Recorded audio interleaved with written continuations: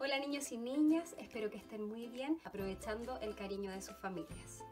Este video para ustedes es para que comencemos a trabajar el canto desde lo más básico y lo que hoy aprenderemos será una rutina vocal.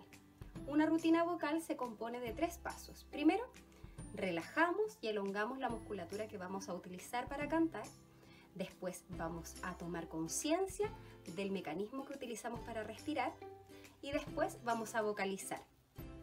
Esos son los tres primeros pasos y ya después vamos a cantar. Lo primero que vamos a hacer es relajar. Tomo aire por la nariz y boto llevando la cabeza al hombro izquierdo. Boto por la boca. Tomo aire nuevamente profundo y boto llevando la cabeza al otro lado. Aquí tomo aire de nuevo por la nariz y boto por la boca. Tomo aire por la nariz y boto llevando la cabeza atrás. Tomo aire de nuevo y boto llevando la cabeza al pecho.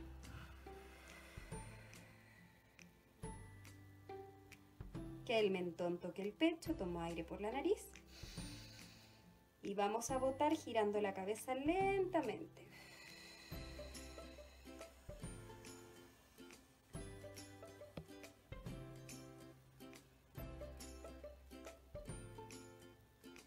Llego al punto de partida, tomo aire nuevamente y voto devolviéndome.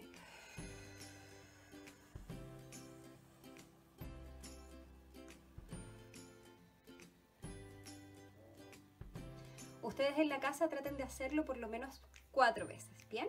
Vamos a llevar los hombros atrás en círculo, tomo aire, voto. Adelante, tomo aire, voto. Muevo todo el cuerpo, sacudo, sacudo todo el cuerpo, golpeo mis piernas despacito, voy subiendo con mis manos, golpeo el pecho, golpeo mis brazos, golpeo un poquitito mi cabeza, mi cara y vamos a bostezar. ¡Oh! Otra vez.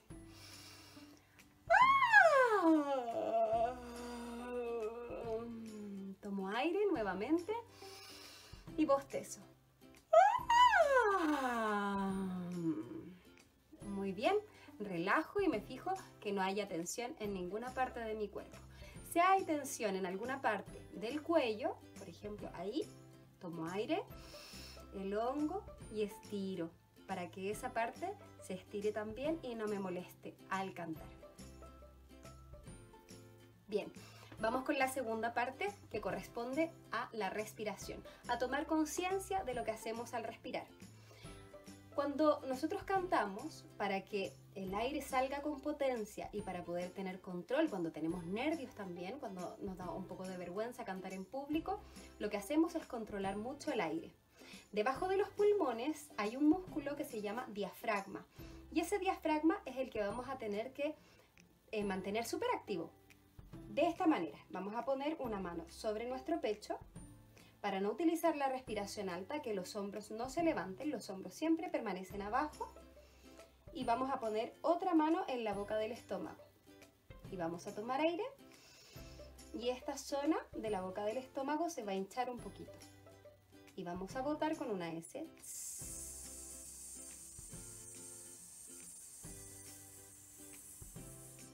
De manera que esto permanezca hinchadito la mayor parte del tiempo, ¿sí?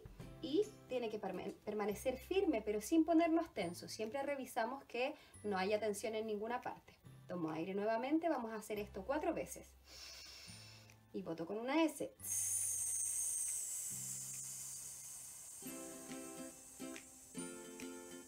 Otra vez, tomo aire por la nariz, boto.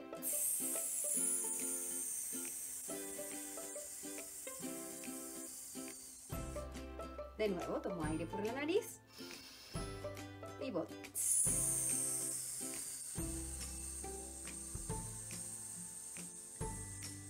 última vez, tomo aire por la nariz y voto.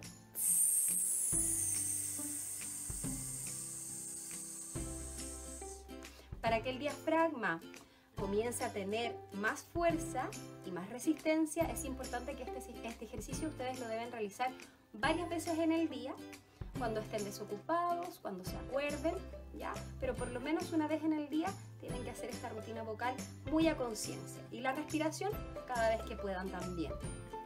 Vamos a pasar a la otra parte, que es la vocalización. Para vocalizar, primero vamos a preparar los músculos que van a participar en esta vocalización. Vamos a hacer muecas con la cara.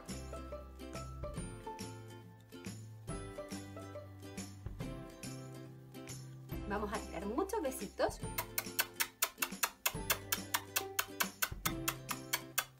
Vamos a mover nuestra lengua como sacándonos manjar o chocolate de los dientes. al otro lado. Y ahora le vamos a hacer masaje a nuestras cuerdas vocales.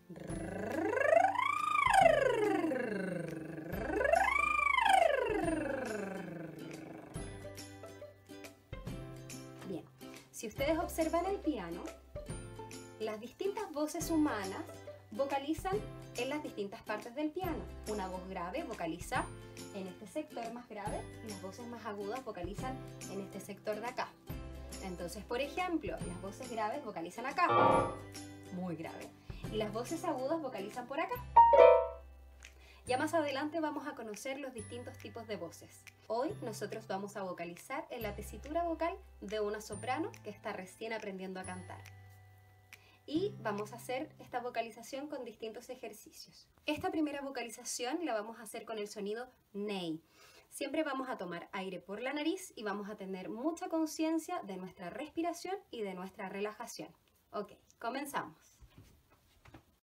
Recordemos que en todo momento tenemos que tener conciencia respiratoria y además tenemos que modular muy bien y cuidar mucho la afinación, porque para eso también sirven las vocalizaciones para afinar, es decir, para cantar las notas correctas. Comenzamos entonces. Nuestra primera vocalización la haremos con el sonido ney y vamos a tratar de tener el sonido aquí, en la máscara.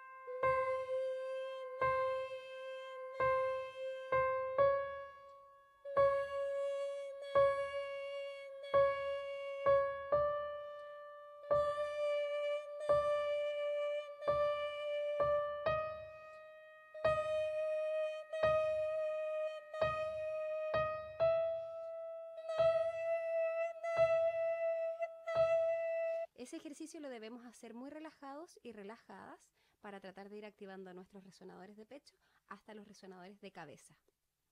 Vamos con el segundo ejercicio, lo vamos a hacer con el sonido fru Tomamos aire, revisamos que no haya tensión.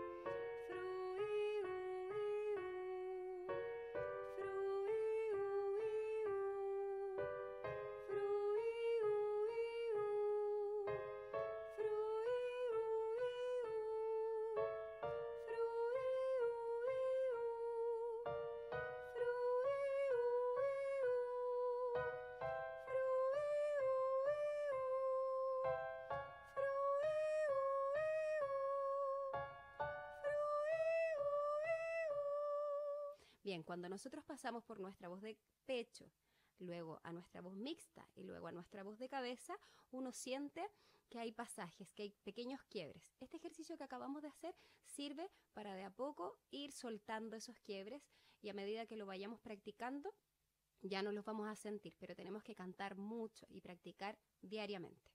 Continuamos. El siguiente ejercicio lo haremos con el sonido si o i.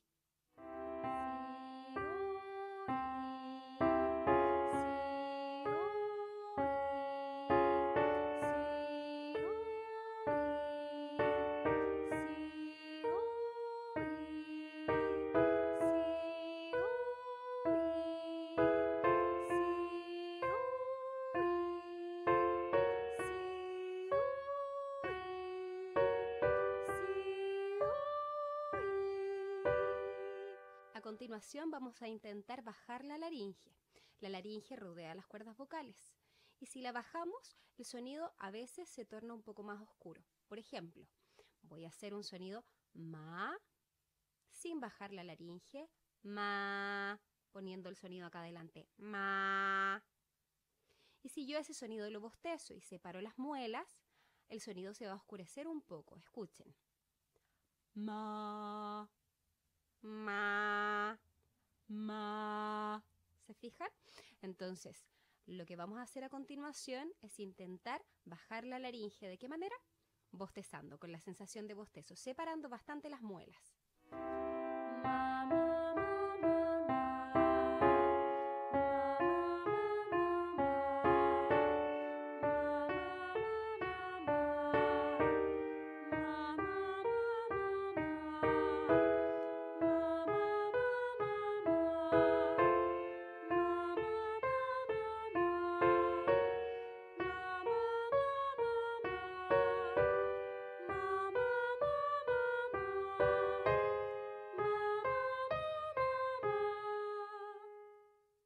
Excelente. El siguiente ejercicio nos servirá para darle más agilidad a nuestras cuerdas vocales y lo haremos con el sonido bio, bio, bi. Comenzamos.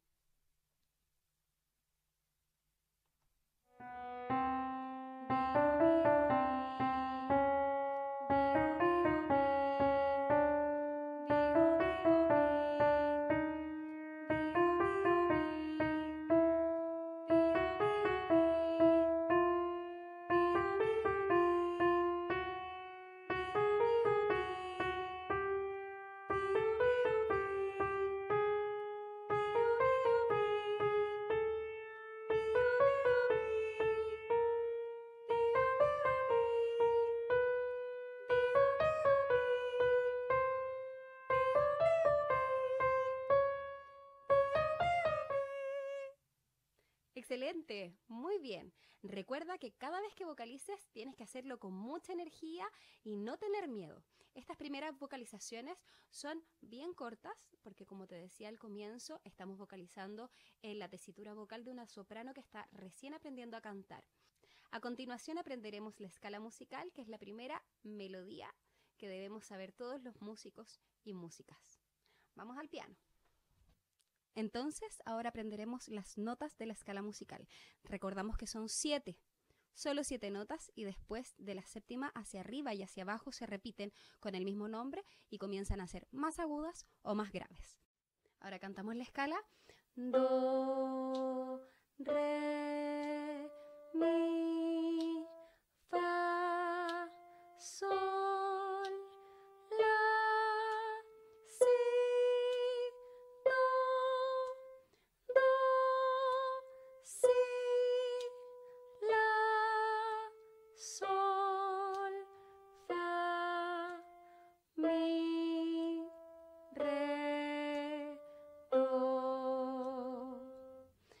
La podemos cantar más rápido. Do, re, mi, fa, sol, la, si, do, do, si, la, sol, fa, mi, re, do. Y un poco más rápido. Do, re,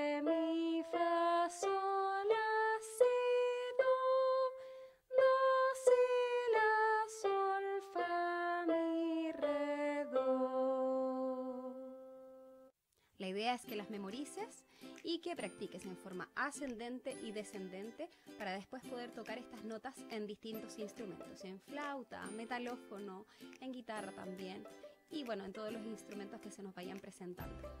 Muy bien. Éxito con la práctica, les envío un abrazo enorme a todos y a todas y nos estamos viendo en clases prontamente. Suscríbanse al canal, denle clic a la campanita porque muy luego voy a subir otros tutoriales y de a poco vamos a ir avanzando en la ruta del canto. Nos vemos.